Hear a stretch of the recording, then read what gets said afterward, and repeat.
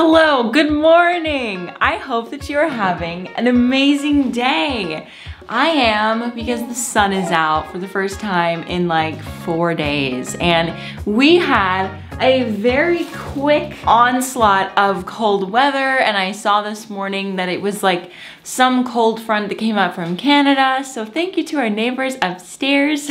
I actually was trying to be a little lazy and not bring them in but then I just was like you know what no I have not worked this hard for these plants and like stressed over them all summer that they would be okay to just let them perish in the cold weather. So please clap for me. I brought them in. I'm filming on a short tripod today, which is really a major disservice to the size of Mama Monstera, but I wanted to show you guys what she's looking like now. And I'm not showing her best side because there is some yellow leaves. And I think honestly that might be due to the cold temps at the end when she was out there. But when we brought her inside, you guys, like we had to work like kind of extra hard to pull her inside because there was like vines and roots growing into the soil underneath the plant.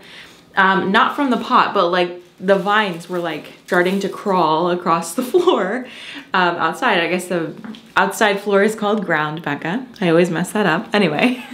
also, there was a part that was starting to crawl up my fence, which was really cool. And I so wish that I could have left it outside, but obviously it would never survive in those temps. So she is inside for the season and I have not mentioned this really, but just to like, I don't know, briefly mention it.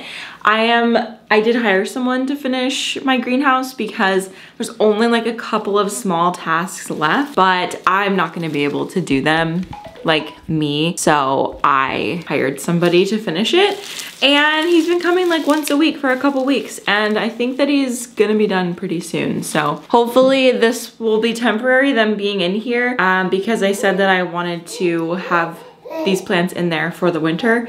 We will see if I'm able to do that. Honestly, once the heater is installed, I should be able to put them in there and I think he's gonna work on that like next week. That wasn't like the top priority because we wanted to get it like completely closed in first, which I think at this point it is completely closed in and airtight. So anyway, that's exciting. I've removed a lot of the leaves that looked kind of bad.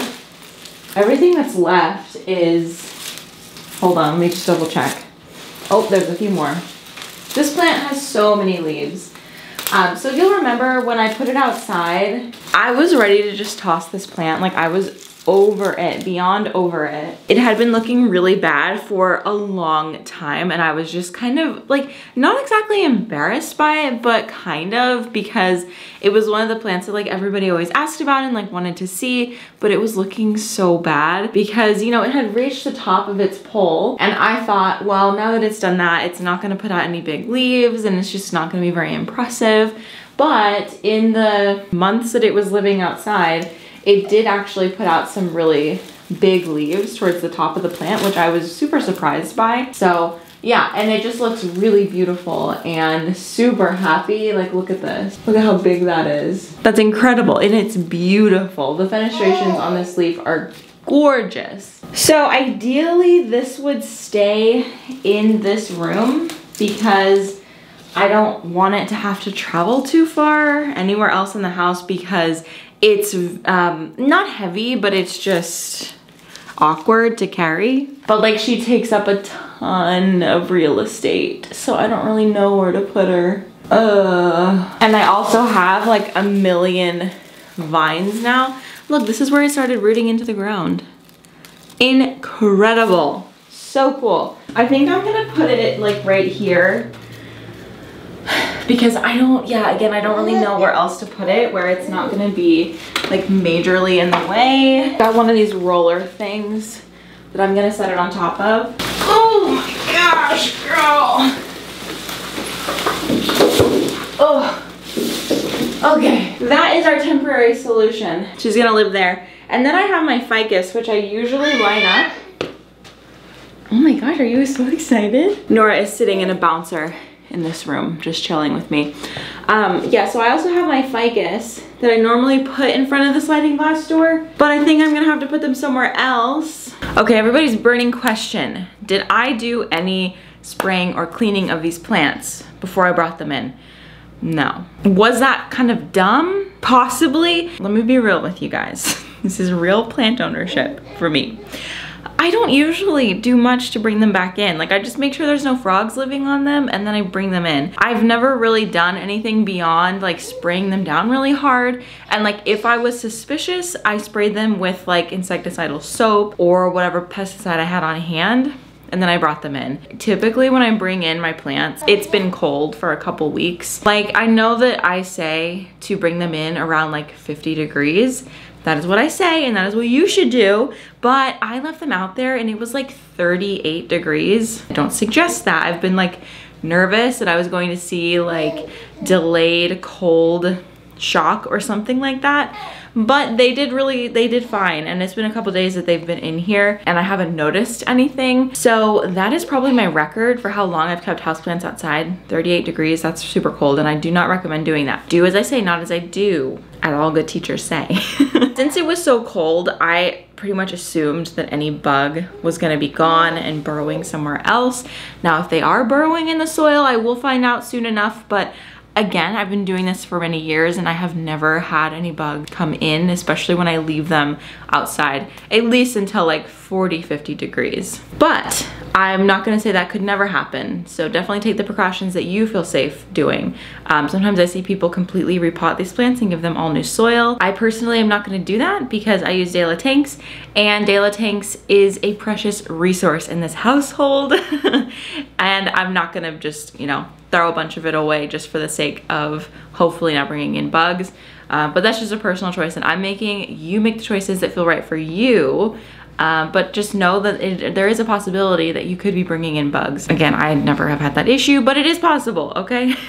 the next plant that I'm going to find a home for is this, my Monstera deliciosa. And let me tell you, this plant it just grew so much. And this is one that I was always nervous about putting outside because I just was like not sure how it would do. And like it was really, really special to me.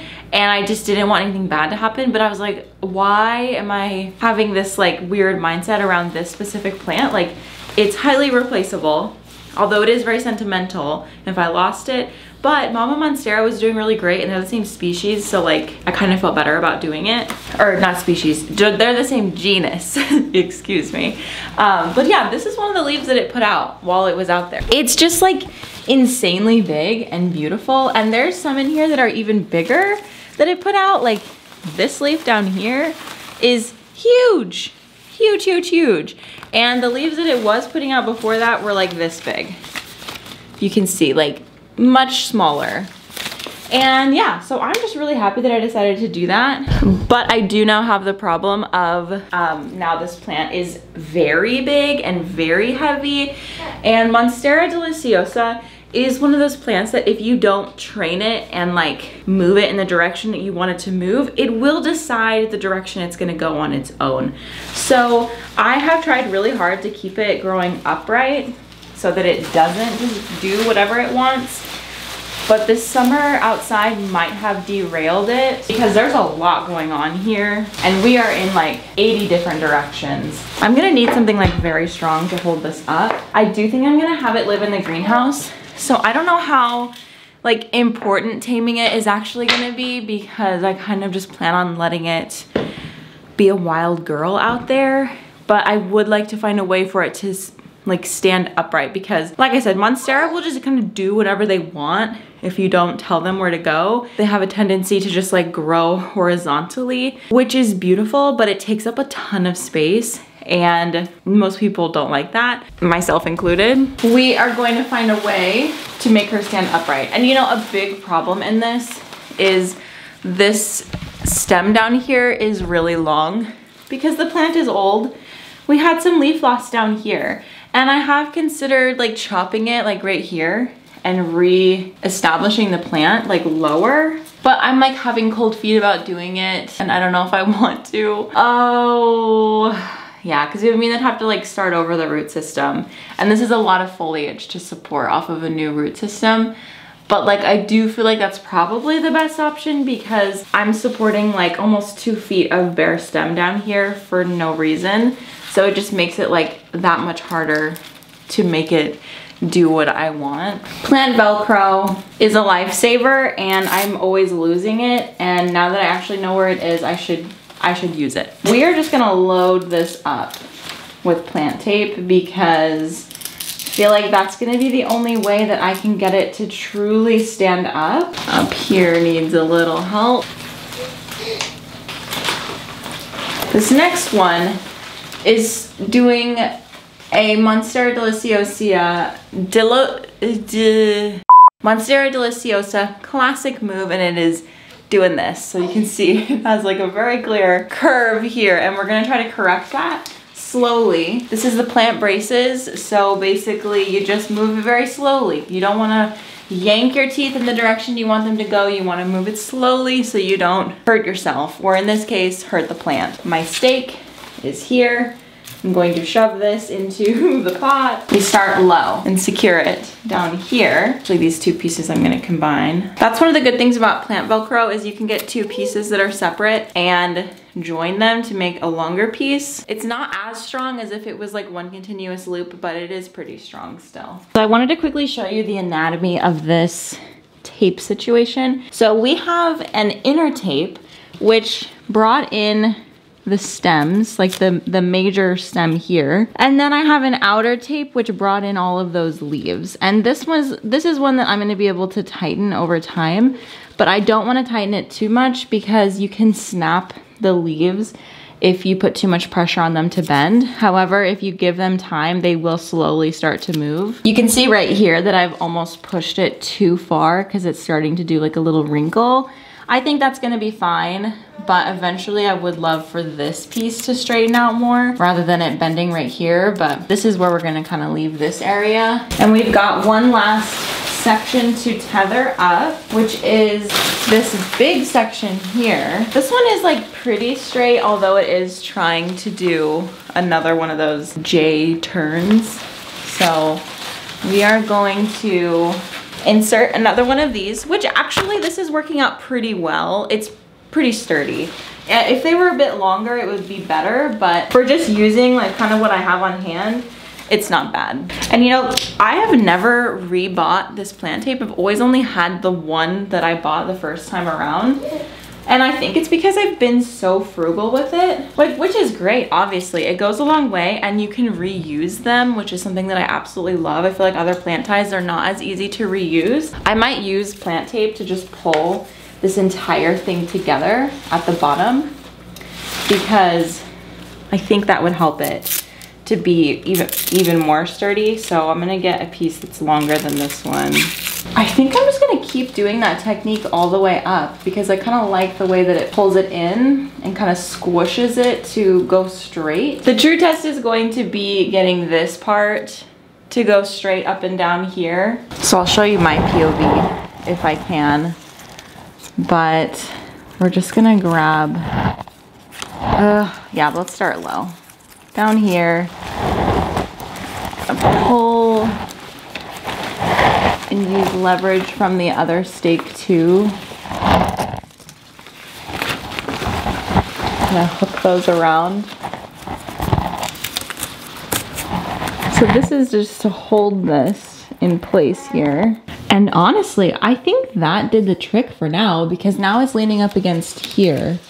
And I like that. So I think I'm going to get some tape to put up in here just to make sure it doesn't just like fall off of there. And then that's gonna be it for this plant. The only situation here that I don't love is this, because I'd love for this to sit more like that. But I think this is just kind of what we have to deal with because I don't have a long enough piece of wood to like support it to be taller. This plant is almost as tall as me, which is crazy. So she's doing really good. And I just need to figure out where to put it now. It's so heavy. It is so heavy. And it used to live in my bedroom underneath a Soltech light. And I would put it back there in the exact same spot, but I now have a rocker and a crib in my room and that's just not gonna happen. Oh, I'm thinking I might just put this in Nora's room for now because there isn't a ton in there at this point. Okay, I just brought that Monstera upstairs. It's very heavy, I'm wildly out of shape. So, the last plant we need to figure out is this one. Now this is my Thaumatophyllum um, bipinnatum, something like that. Uh, formerly the philodendron. And if you remember what this plant looked like when I brought it outside at the beginning of the summer, and you see this today, it is truly made a comeback. She takes up a lot of space. Like a lot of space. When I say she takes up a lot of space, this might be like the most widespread plant that I have. I don't know, should I just also put this one in Nora's room too? Just in like the interim, like while I figure things out? I don't know, I guess that's like the only place that I can put it because I don't have open space literally anywhere else. Definitely not in here.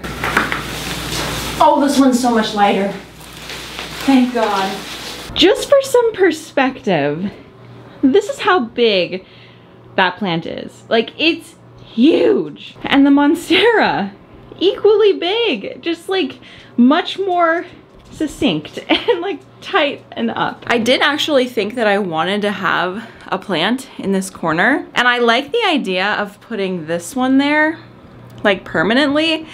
Um, so we'll see about that. I might be able to put like, move my Soltech light into here for it because I think it would do fine under those types of conditions. Sorry, the lighting in here is not great. It's a little dark and shaded because of our big, beautiful oak tree. That's it, you guys. I am really happy that I did this. Um, again, I was planning on not doing it and then just like hoping for the best with my plants, which honestly would have been fine, but I'm glad that I took care of them like a good plant mom. And now I just need to clean up the aftermath of those giant plants just being thrust into my plant room. I just put down these towels because it was raining when we brought them in and they were soaking wet.